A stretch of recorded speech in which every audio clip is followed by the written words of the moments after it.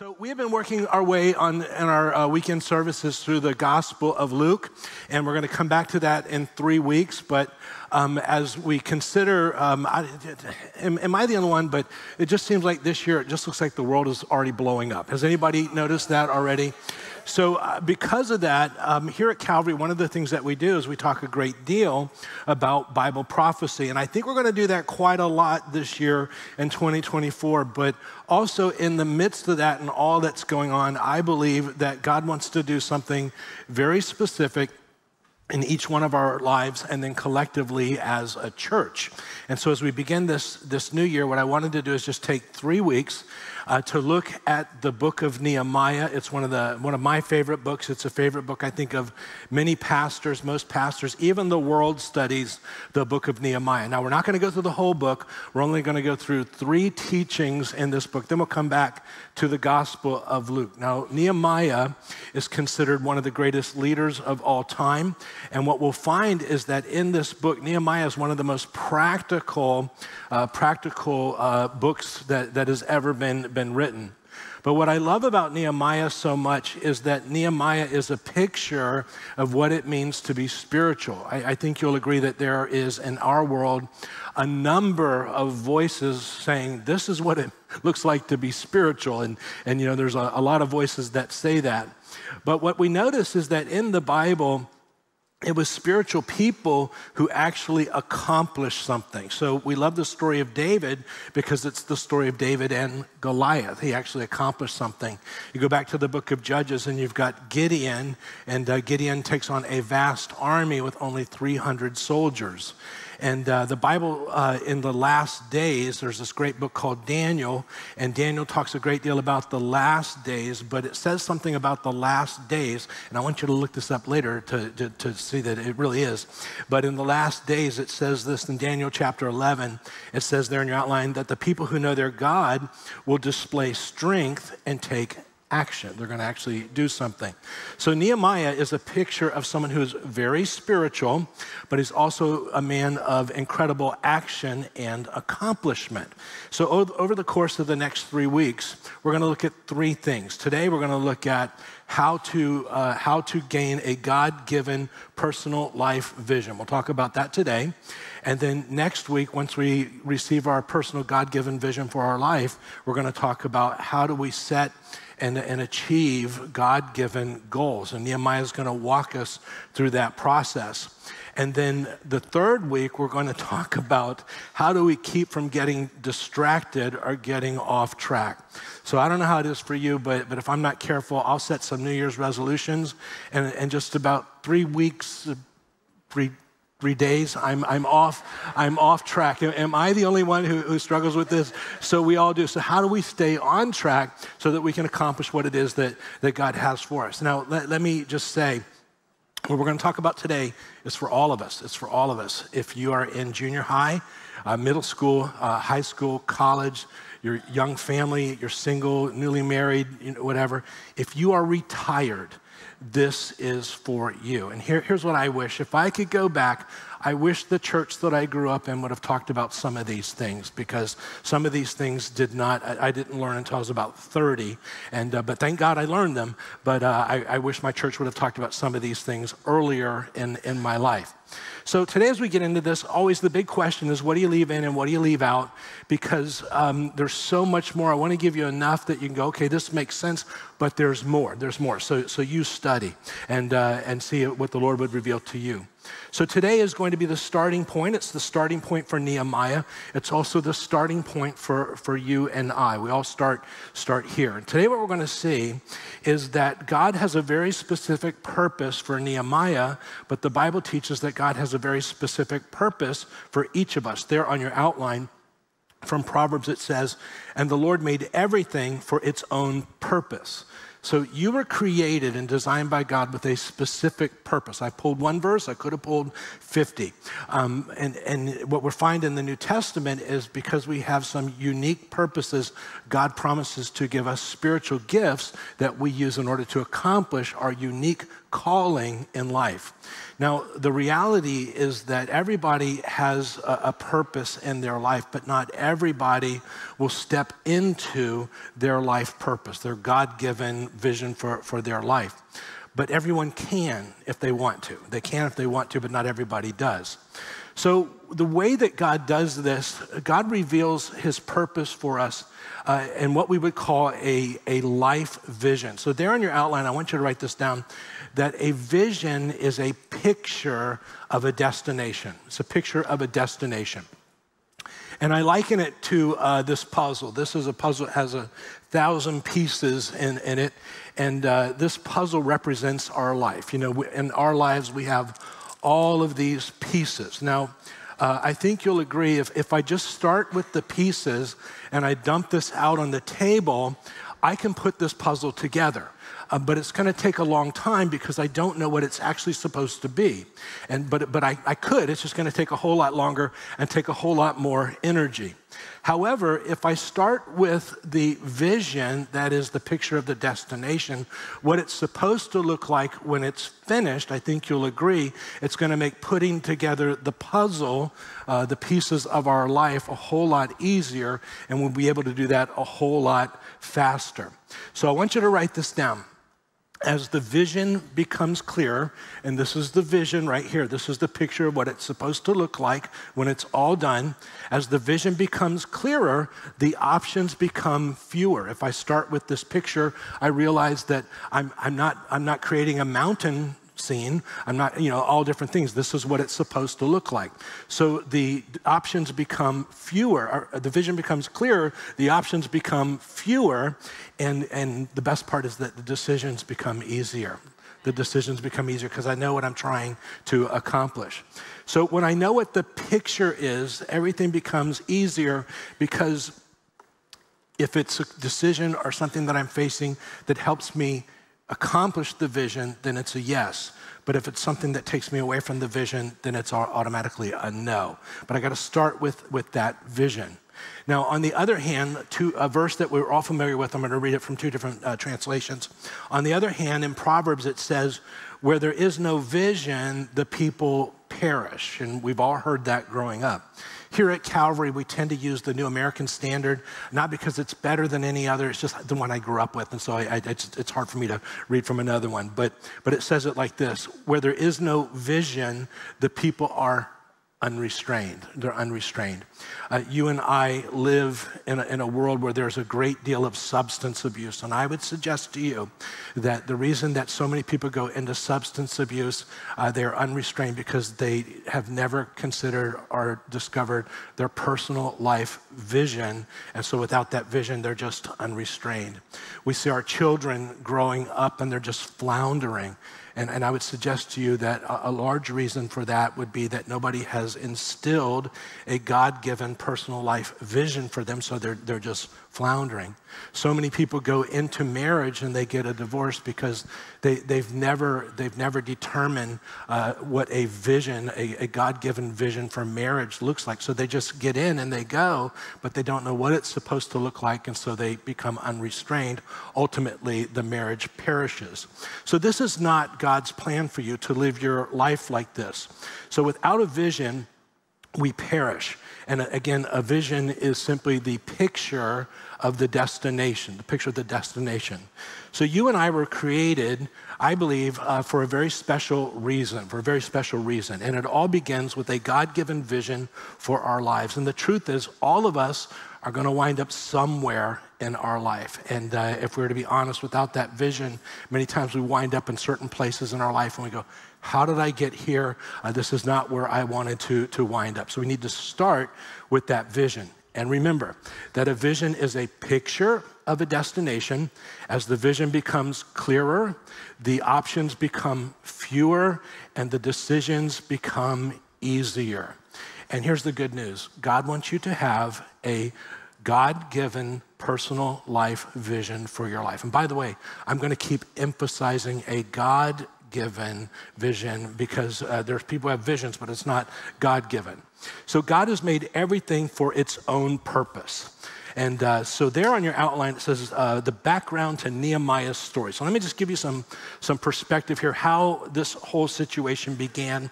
For hundreds of years, uh, Israel had been living in sin, gross sin, uh, beyond you know, the, the normal, uh, normal everyday stuff. And uh, God kept telling them, if you don't repent, what's going to happen is you're going to lose your, your nation. Then there came a point where God says, You've gone beyond the place where you can repent. Now you're going to lose your nation. We call that the Babylonian exile. So, there on your outline, in 586 BC, Jerusalem was destroyed and God's people were deported to Babylon. And you want to write down Babylon is just modern day Iraq. It's modern day Iraq.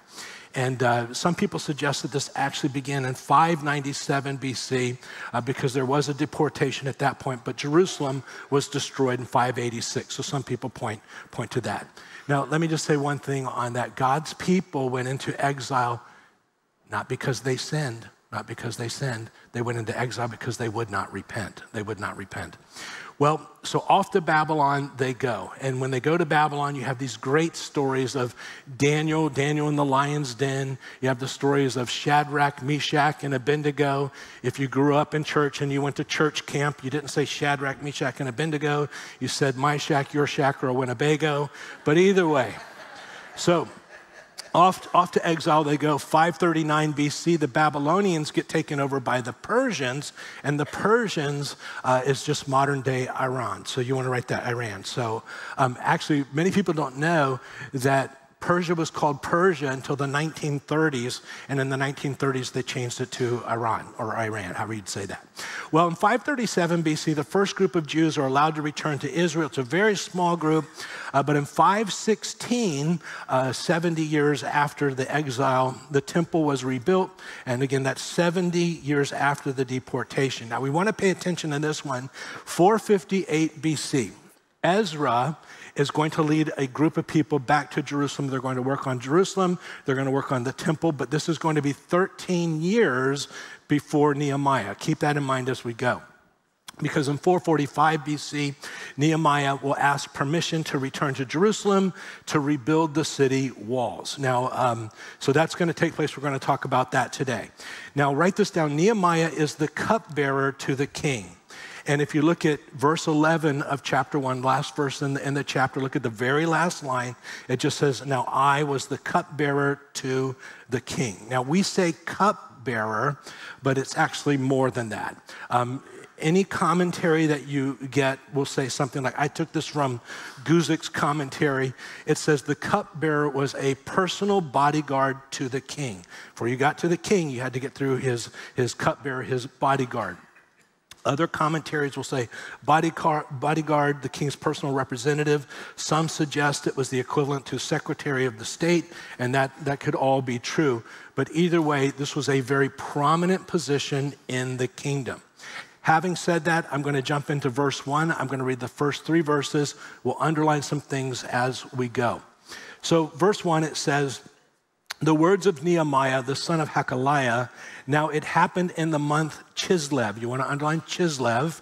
Then the 20th year, while I, I was in Susa, underline Susa, the capital, that Hanani, one of my brothers and some men from Judah came, and I, I asked him concerning the Jews who had escaped and had survived the captivity and about Jerusalem and, and then you want to underline, they said to me, me, me, me.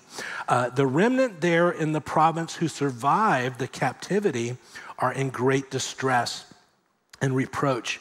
And the wall of Jerusalem, this here's going to be the problem, is broken down and its gates are burned with fire. Gates are burned with fire. So there's a, a few things as we get into this that, that we need to know. First of all, um, when we went through, I emphasized I, I, and, and you know, it's, it's uh, so that here, here's the thing. Nehemiah writes in the first person. The entire book is in the first person. So write this down when it says, you know, they said to me there in your outline, but the book of Nehemiah is a diary. It's a diary, it's his own personal diary. And uh, there's a life lesson in that, and it's simply this. And you want to write this down that a life worth living is a life worth recording A life worth living is a life worth recording. Uh, some of you might not call it a diary, you might call it journaling at this point. But parents, I want you to just consider this for, for a second. How cool would it be if you journaled in your life and you wrote down the things that you're facing, the decisions, how you process things, and then at the end of your life, you're able to give that to your kids and they could read back through and go, oh, this was what mom and dad were thinking. Here's how they made th- that decision. Here's why they, they did these things. What an incredible heritage that would be. Um, the guy who taught me to journal uh, he said every day when he began his journal, he began with the same two words. And the same two words were always, yesterday I, and then it went on from there. Yesterday I, and it went on from there. So I would encourage you just, just think that through. What a cool thing that would be to pass on to, to your kids. So here's the problem, and you want to write this down that the walls of Jerusalem are destroyed. Now, that's not a big deal to you and I. But in those days, that would be a huge embarrassment because the, your wall around your city was your first line of defense. And uh, so, as you tried, if your walls were destroyed and the gates were burned, uh, as you tried to tell people how great and awesome your God was and why you should worship our, our God, they would look on at you and say, Really? Worship your God? Look what he's done for you. Your gates are torn down. You're getting attacked all the time. Place has been burned to the ground. So this would be a great embarrassment. Now, another thing um, that you find in the Bible is that names are always, always, always significant. Uh, there's three names. I'm just going to talk about one so far that we've looked at, but they're all significant.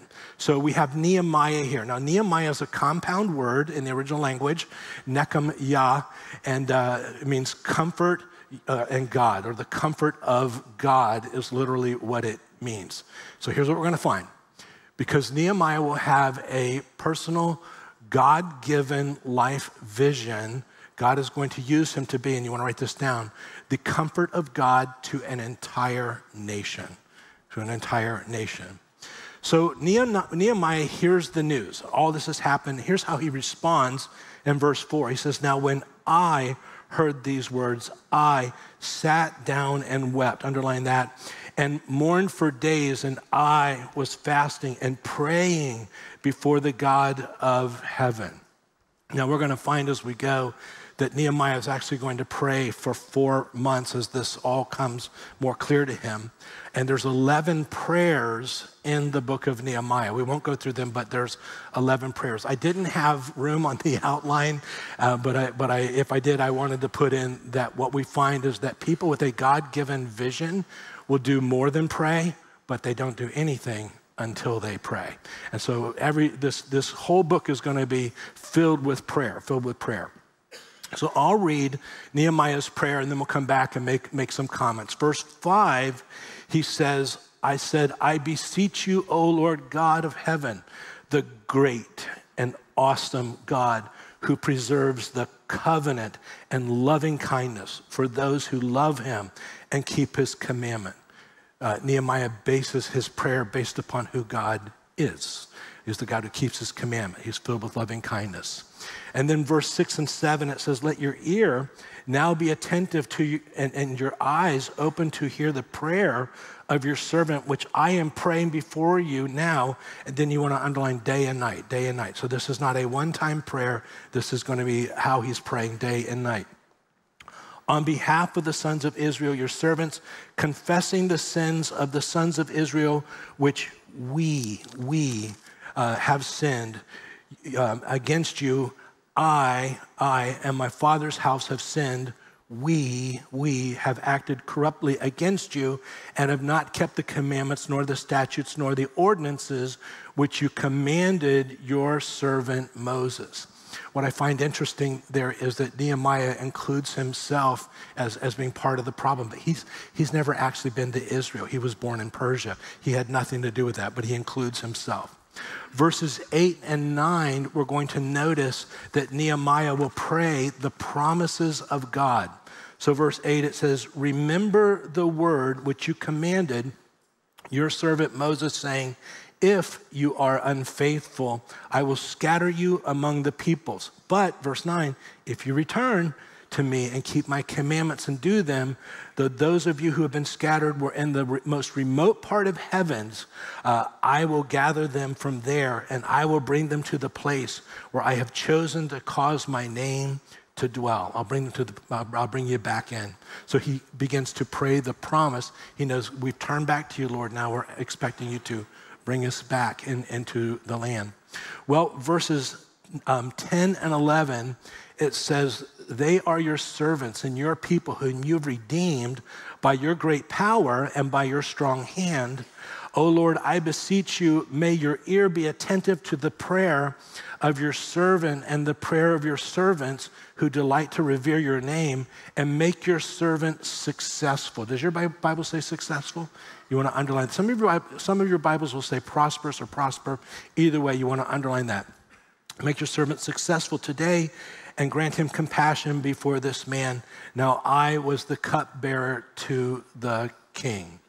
Um, I, I, love that Nehemiah prays for success. Some people think that it's unspiritual to pray for success, but con- consider the alternative. You know, do, do you pray for failure? I don't know how it is for you, but failure just kind of happens kind of on its own in my life. So, so I need to pray for, for success. So what I want to do today is, as we went through that, I just want to highlight how it is the process that God uses to give us that personal God given uh, life vision.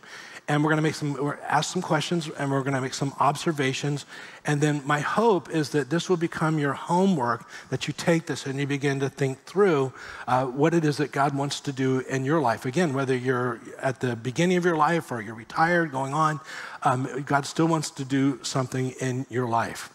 So, how does God give a personal life vision? Let me go sidetrack a little bit as we get into this um, first of all, in the box in verse 4, I put that there. It says, When I heard these things, I sat down and wept and I mourned. And so in Nehemiah's life, what we find is that God uses some pain in his life in order to uh, make that be part of, of his, the vision that God has for him. And sometimes God does that. That sometimes we walk through some stuff and then God uses that for, for our personal life vision. And that's certainly a possibility. Now, for some of us, it's a little bit different. Um, it's not always going to be just pain. But in uh, Psalm 37, it says, Delight yourself in the Lord, and he will give you the desires of your heart. It's not that he fulfills the desires, but as you delight yourself in Him, He gives you the desires that He wants you to have as you delight in Him. So, so as we delight in Him, uh, we're going to find that He will begin to put the desires that He has, that He wants us to have, so that we can accomplish that life purpose. So that's certainly the way that He does that. Now, a little bit of self disclosure uh, from my life, and I won't tell the whole story, but just very, very condensed. I, I grew up in church and I've been in church since I was five years old. And uh, growing up in church, we were always taught to read our Bibles, but we never opened our Bibles in church. It was just, you know, I'm great. I have the most wonderful church background. I've been all over the church block. It's been weird, it's been wacky, but it's always been wonderful. Everywhere I've been, people love the Lord. Um, but one church that I sat under, um, I sat under what we would describe as the screaming pastor. How many of you here ever sat under the screaming pastor? Yes, I see that hand. For those of you listening online, thousands of hands are going up all over the auditorium. If you haven't listened to the screaming pastor, you haven't lived. But it was just a lot of screaming, a lot of screaming. Now, other parts, and I'm not against this at all, but I, part of my church background was you would come to church and you could barely get to your seat because there were people laying in the aisle and, and all types of things going on. But we didn't open our Bible. There was a lot going on, but we didn't open our Bible. And for me, I grew up and I was always fascinated by the Bible. I would, I would, read the Bible, but then I would come to these things and I would say, you know, what, what does this mean? Could somebody just explain it to me? Well, we didn't get that in our church. We, we got at times in this church screaming, this church, and, and you know, so very, very um, different stuff. Um, but as God allowed me to go through a number of church experiences, you know, I was fascinated by the Bible, and uh, God began to, a couple of years before Cheryl and I moved here, began to move in my, my life. Like, this is what you're to do. And God gave me a, a verse, and it comes from Ezra, one of the guys that we talked about a few moments ago, Ezra 7:10. And it says, For Ezra, there in your outline, had set his heart to study the law of the Lord and to practice it, underline practice it, practice it, and to teach his statutes and ordinances in Israel. So the Lord gave that to me. So, so part of what I'm, major part of what I'm to do is I'm to study it, but then I'm to practice it. And uh, as it works out in my life, then I'll come and I'll teach it to you. But I will never teach you anything that I'm not practicing. Um, because if you're like me, I've been around the, the, block and I've seen a lot of people preaching stuff that they weren't necessarily practicing. So my goal is to always make sure that I'm practicing what it is that I'm preaching it. So that's, that's part of how God did that in, in my life. So, God is going to use a variety of things in our life in order to give us our personal life vision. Mine is different than, than yours. So, how, how does God give, uh, what do we know about uh, that personal life vision? Well, I want you to write this down. Uh, if it's from God, it's going to begin with an impossible situation, an impossible situation. Now, I want to talk about that impossible situation. So, it's, God's going to give this to Nehemiah. Um, and Jerusalem is over 800 miles away. So you want to write that down 800 miles away. Let me put a map up here just to show you what I mean. All the way to the right of the screen, you have Iran, in those days, Persia, and you had that city called Susa. And Jerusalem, you got to go through Iraq and Jordan. Of course, it wasn't called that then. To get to Israel, which is all the way to the left side of the screen, and it's 800 miles as a crow would fly. But you got mountain ranges, you got kingdoms, you got all this stuff. So most told that it was more like a thousand miles away. So what does that mean? Well, write this down. That's at least two months by camel. So that's it's it's quite a distance. Uh, most people put the journey back to Jerusalem at about four months. Now it's also going to be impossible in that you want to write this down. Nehemiah has no experience. Uh, he's never built anything, he's never organized a project, he certainly has never done this internationally. So, in order for Nehemiah to accomplish this life vision, he's going to have to learn some things. He's going to have to grow and he's going to be stretched. And so, we're going to talk about that more next week, but it doesn't just happen. It's not going to just happen. Also, to add to the impossibility, we have to consider who Nehemiah's boss is. So, everybody look at chapter 2, verse 1. Chapter 2, verse 1. And it says, Now it came about in the month of Nisan. Uh, it's Nisan. They used to call it Datsun, but then they changed it. It's now Nisan. you have to be like over 50 years old to, to get that. Some of you 30 sometimes like, what? All right. It came about in the month of Nisan, actually, in the 20th year, King Artaxerxes, that wine was brought before him. So the king here that he's working for is Artaxerxes, Artaxerxes. Now, Ezra goes back to Israel about 13 years before Nehemiah asks for permission. And uh, that's the book before Nehemiah, and you can read that. And so he goes there, but the people are opposed to the work of God rebuilding Jerusalem, rebuilding the temple. So I've condensed the whole chapter, but you'll get the point. In chapter four of Ezra, it says So they wrote a letter against Jerusalem to King Artaxerxes as follows. And you can read that later, but it's very negative. And then it says, Then as soon as the copy of King Artaxerxes' document was read, he's going to make a decision based upon what he hears. And it says, And they went in haste to Jerusalem to the Jews and stopped them by force of arms. The idea is if you don't stop, we're going to kill you. So here, here's, here's the, the impossible situation. The problem that needs to be solved is in a distant country. The guy to solve it has no experience. And the only guy who can help him has promised to kill anybody who tries to do this.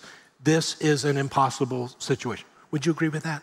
So it's an impossible situation. Now, here's why that's so important. when God gives you that life vision, He puts these extreme, uh, these extreme um, uh, details in there, uh, so to teach us that we look at God, not our circumstances. Because if we look at our circumstances, there's no way we do this.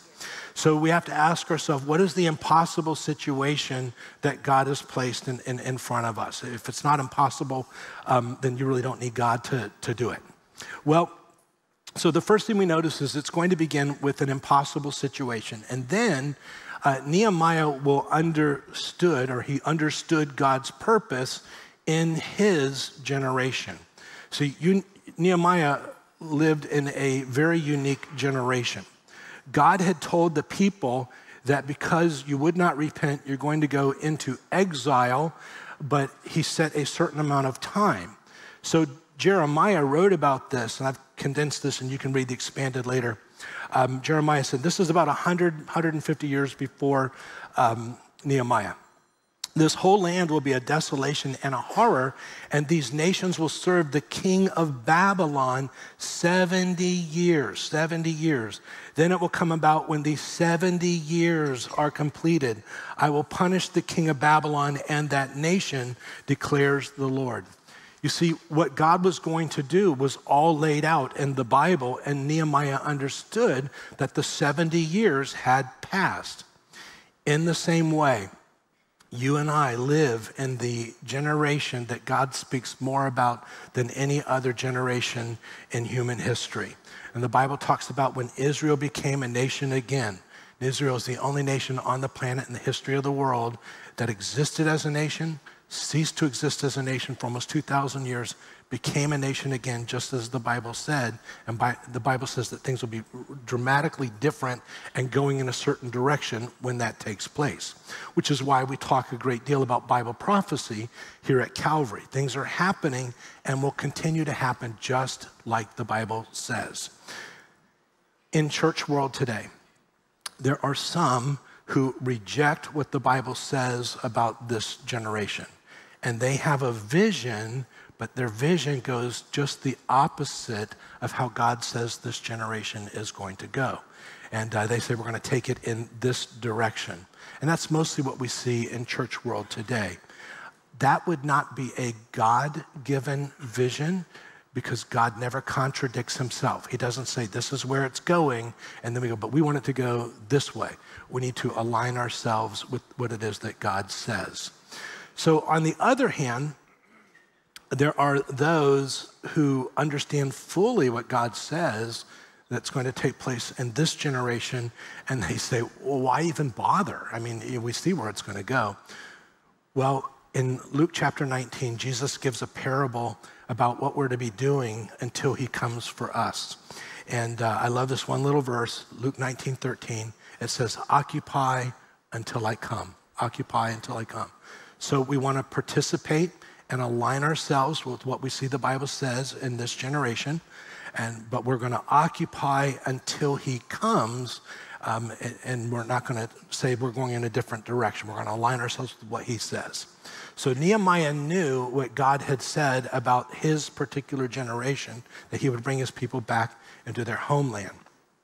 If the vision that you are getting is not aligning with what it is that God says about this generation, I would suggest to you that that's a vision, but it would not be a God given vision because God does not contradict himself. Well, another thing that we will find is that a God given vision will involve concern for the things that God is concerned about. In verse 4, we underlined it. He said, I sat down and I wept, and he, he was praying. So when Nehemiah hears that this takes place, um, you know, the walls are burned down, he doesn't go, oh, it's just really too bad. I'm sad that that happened. Oh, well, uh, it says that he sat down and he wept. His heart was broken over the things that God was concerned about. So, God's plan for Nehemiah and each of us will always involve a concern about the things that God is concerned about.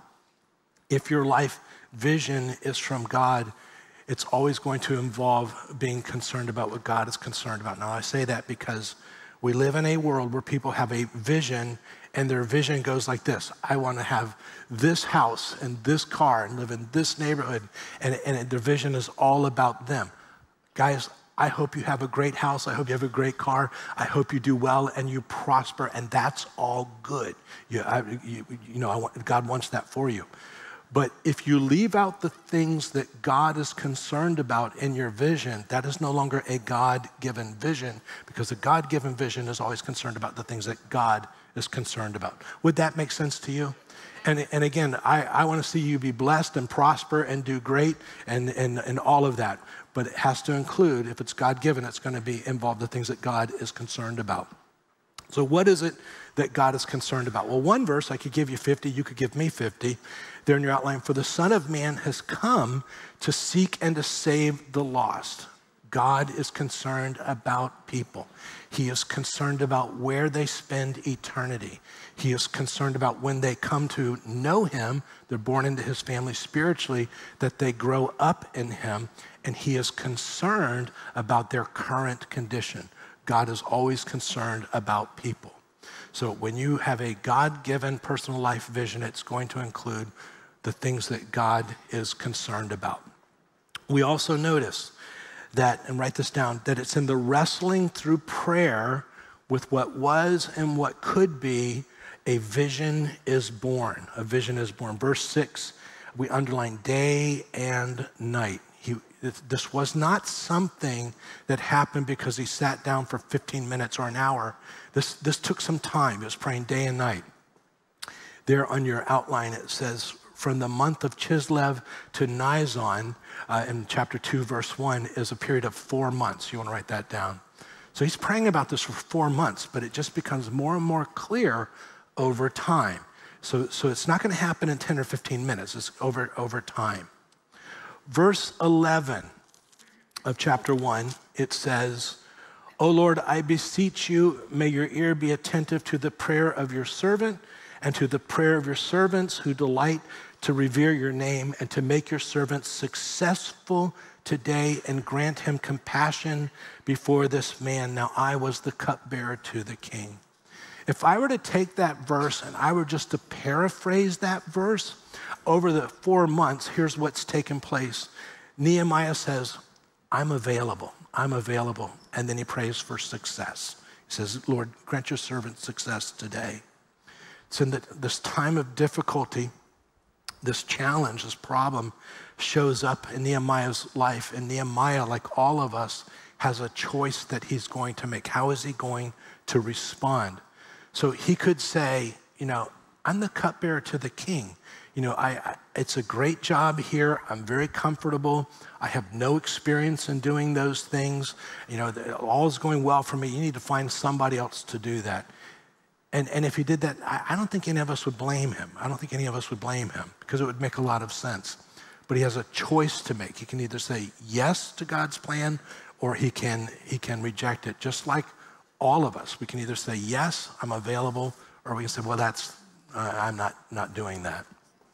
Write this down that the vision from God is always greater than anything we could ever accomplish apart from Him. Apart from Him. You see, apart from that God given vision, um, we tend to just go through life. We, we were not aiming at anything, just kind of go this way, that way, and see how it, it turns out. But if you're going to accomplish something significant in your life, a God given vision, it's going to be greater than anything that you could ever do apart from God. When God gives you that God given vision, as you see that begin to take place, and it unfolds and you're walking and working with the Lord to accomplish that, you're going to find that there's a sense of fulfillment there that you'll never experience in any other way because it's what you are designed by God to do. And so if, if it's not something greater than you can, that, you know, that if you could do it without God, then it wouldn't require faith. And you know, just, just go do it. God gives you a vision, it's going to be bigger than, than what you could accomplish uh, with, without Him. So once we get that, once we begin to we pray and we discern, and over time that vision becomes clearer what it's to look like. Then once that becomes clear, then the next thing, and we're going to talk about this next week, how do we begin to establish some goals, God given goals, that take us so that we can accomplish that vision that God has for us? I believe that we live in some very challenging times, and I think it's going to get more challenging, but we're still here. And God still wants to do some things in us and through us and in this time and place where He's allowed us and called us to be. But, but, but we have to be willing to step into, into that. So I would encourage you take this week, go through this, read the chapter. The Lord's going to show you some more things than I brought out today. But uh, let the Lord begin to do that and let this year be very different, maybe, than some of the other years that, that we've had. What did you find that interesting today? Good. So, with that, I'll close in prayer. Communion will be served down in the front on both sides of the platform. Prayer partners are in the care room just outside to the, to the right. Let's pray. Lord, we, we, want to, we want to know your purpose, the vision that you have for us. So we're going to begin praying that you make it very clear. I know it comes in pieces, comes over time. Uh, it's great when it happens as a flash of light, but for most of us, it's going to take a little bit of time, soul searching, praying, seeking you, discerning, and, uh, but, but Lord, uh, we want that because living out the purpose that you designed us for is the most fulfilling, most fulfilling thing ever. So we, we want to partner with you in that. Lord, I'm so grateful for this congregation, their love for you, the things of you, your spirit, your word. And I pray, God, that you keep each and every one of us until we meet again. It's in Jesus' name that we pray. And all God's people said. Amen. God bless you. We love you. We'll see you next time.